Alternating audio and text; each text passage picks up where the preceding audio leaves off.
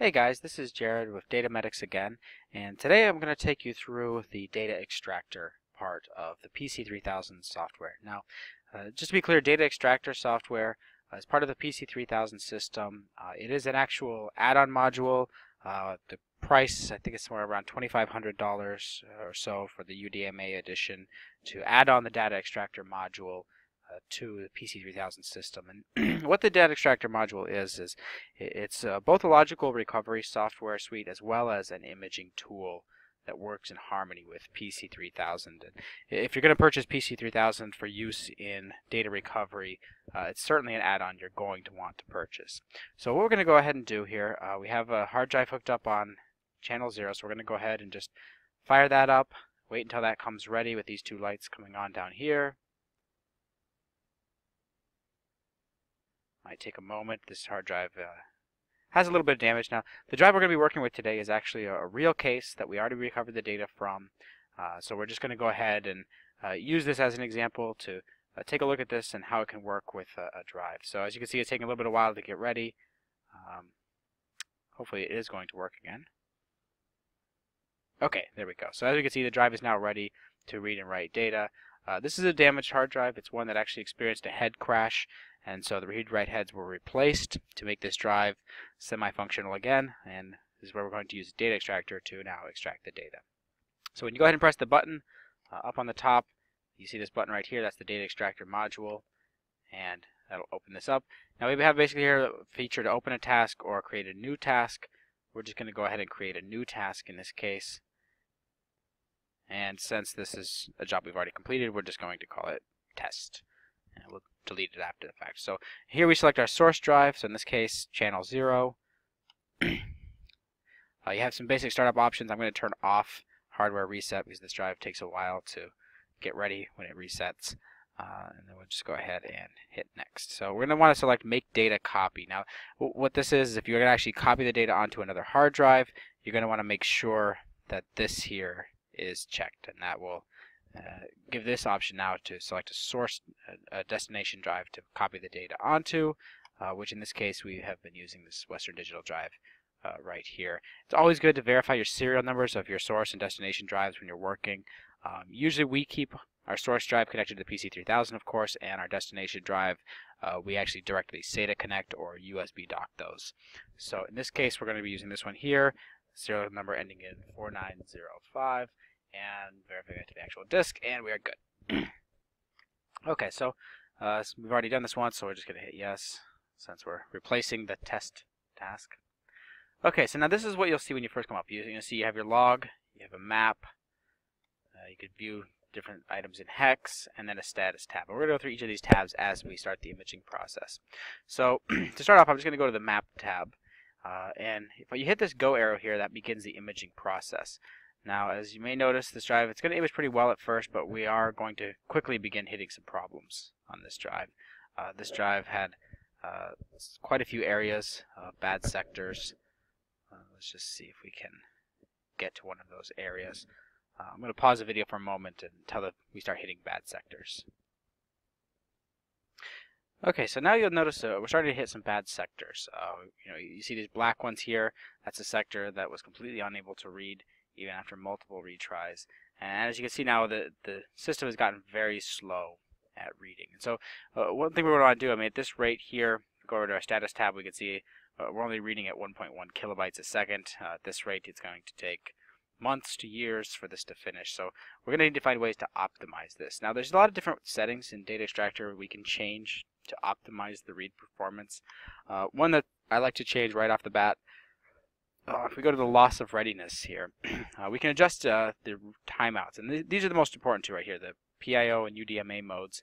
If we shut these down to much lower timeout, so for the first pass we might only do uh, just a couple hundred milliseconds. And what that's going to do is it's going to tell the system that if it can't read a sector in just a couple hundred milliseconds, it's going to go ahead and just skip ahead and not bother to read that sector. So we're going to just go ahead and hit apply, and we should start to notice after the setting takes effect, it's going to start skipping through some of these areas a little bit faster. Uh, if it can't read a sector, it'll just go ahead and jump ahead. Uh, now, what you notice, it's taking pretty large jumps here and then reading backwards. Uh, if we want to disable that, we can disable it right here, not provide specified reading after jumping. That will stop it from going back and rereading. Uh, we can also ad adjust some of the settings such as uh, the jump size. So 256 sectors. Uh, it looks like for the most part these are pretty small areas of bad sectors, only just one or two sectors each. So we'll set this to something lower like uh, 10 sectors to jump each time it hits the read error. So as we can see, uh, we're now jumping through the damaged area a little bit faster. Uh, this is a severely damaged area. Not likely we're going to get a lot of useful data in an area like this. Now with a lot of hard drives, what you're going to find is that uh, certain areas on certain read-write heads, there's just damage to the platters, and that's the case in this uh, job we're working on here. And, and so what we're going to want to do is be able to kind of skip around the bad areas. And one nice feature to do that is right here, the uh, ability to build a head map. I'm going to go ahead and stop this so we can work on that. Now, when it comes to building a head map, at first you'll see if you try to do this, uh, it's going to tell you to run PC3000 utility. Now, so to build the head map, we have to have that utility running in the background.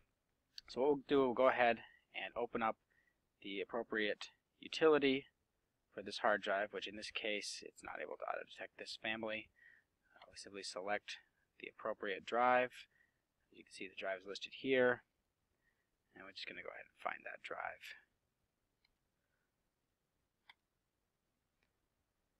So we'll allow the utility to load. Once the utility is loaded, we can simply minimize that into the background, go back into our data extractor tab, right one, and then we select build head map, and this time we'll see it go to work, and it's actually going to build that head map. Now this can take a few minutes. Uh, it has to go through and analyze which sectors are read from which read-write heads, and then it builds an appropriate map where we can disable heads so as to get around some of those damaged areas. So I'll go ahead and pause this video and allow that to finish.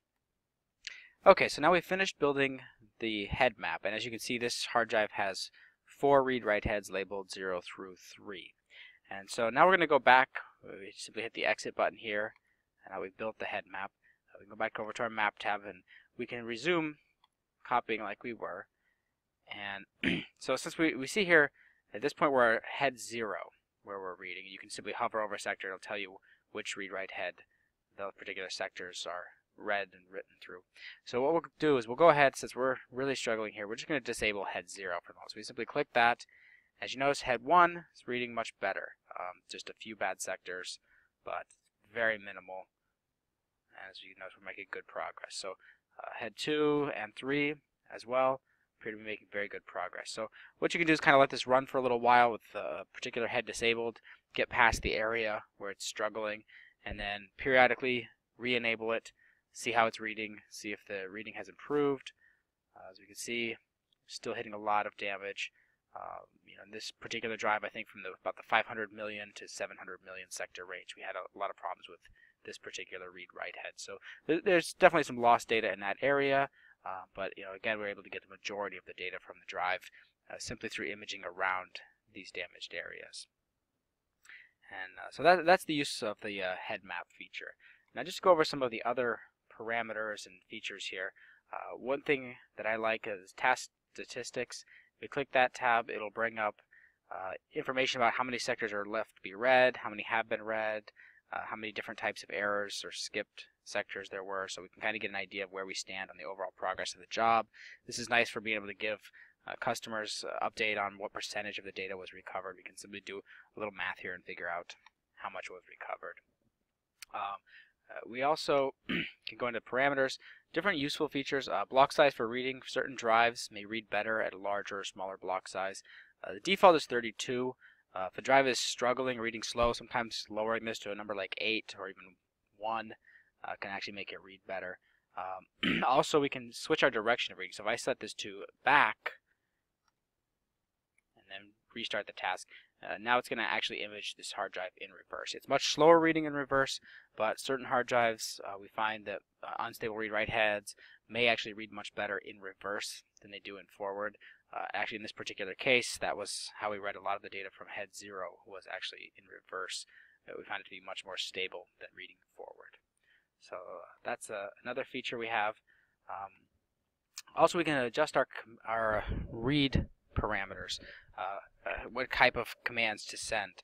Uh, the default is UDMA 66. On the newer version, uh, we actually have even uh, newer UDMA than that, but I'm still using the old card in this tutorial. Uh, we can also use different ones. For example, if we use this use hardware retries, it'll actually force the drive into PIO mode rather than UDMA. Uh, certain hard drives, uh, for whatever reason, have surface area damage, can't read in one of these modes. Uh, we, it's a little bit slower mode, but oftentimes uh, may make some drives more stable. Uh, we also have the feature to read from the active PC3000 utility. Now, for many drives, this doesn't make a lot of difference. Um, Western Digital drives actually cannot read in this mode. Uh, Seagate drives can read in this mode, but it's very slow and not much better. Uh, but Hitachi and especially Toshiba actually oftentimes read much better through the utility. Uh, Toshiba drives, if we enable this, we can actually set up a virtual translator and get around issues such as glist damage, which can make certain drives completely unreadable except for in this mode. So uh, certainly another great feature of PC3000. Uh, we can also set uh, different parameters for how to handle errors. Uh, we can set uh, jump size when a sector is completely unreadable, decide if we want to software or hardware reset the drive, enable power resets if the drive becomes unresponsive. Uh, there's just a whole lot of different settings, and a lot of it is just trial and error. They spend time, uh, play around with a lot of these settings, find the setting that for this particular drive works the best and can image at the best rate of speed while maintaining stability. Uh, so that's uh, certain things. Once you're done imaging a drive, we can select this right here, work with copy only. Uh, that will disable the imaging from the original source drive and allow you to work with just the copy of the data when you go into the logical side of the recovery. Uh, now, as we look at the logical side of recovery, now if we have this here, it shows a little file tree. This pulls up the actual logical recovery software. Now, one great thing about uh, Data Extractor is it's an imaging tool, but it's also file system aware. And I'm going to show you a couple of great features here. So as we can see, we have our partition tables. We can see there's different partitions on this particular drive. In this case, it's HFS formatted, so this is an Apple hard drive. Uh, if we go ahead and open this up, as you can see, we have our basic. Go ahead and let that scan for a moment.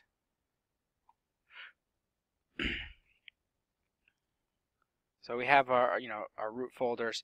Uh, one thing that we can do that's really useful, and this one actually has some file system damage because we didn't finish imaging it yet, uh, but being file system aware, we can actually image only the sectors that are used. So if we right click on this uh, partition here, the HFS file system volume, we can select this right here, used sectors map. And if we go ahead and select that, what it's going to do is it's actually going to analyze the bitmap on the hard drive of used sectors.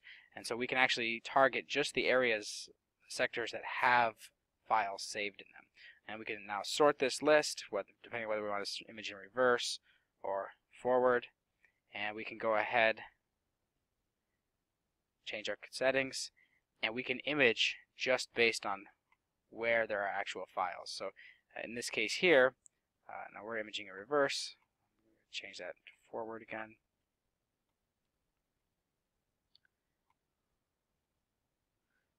So now as you can see we're, we're imaging again. Now if we take a look at our status tab now this is a 500 gigabyte hard drive uh, we switch over to our status tab we can see there's only 362 gigabytes of data stored on that drive. And we can also see the speed at which we're imaging, uh, estimated time of completion based on the current read speed. And so this is useful, especially uh, in you know, a case like this, 500 gigabyte drive, it may be worthwhile just to image the whole drive. But uh, we have a lot of cases come in where it's maybe a three or four terabyte hard drive with only a few hundred gigabytes of data. So what we can do, especially if a drive is uh, really struggling to read, is target just those areas where there's actual data stored and skip around the areas where there's nothing saved. And if we uh, watch this carefully, we can see it, it will skip certain areas that there was no data stored. So it's a great feature and can really speed up the imaging process on large drives that aren't very full. So anyway, so that's some basic features of the data extractor module. If you have any questions, please feel free to post them down below and I'll do my best to respond to them. Uh, also, you can visit our forum it's uh, datamedics.com slash forum. You can click the link right there on your screen. Uh, if you have any other questions or comments, please feel free to post them below or visit our homepage, datamedics.com, or even give us a phone call, 844-4MY-DATA. Thanks for watching, guys.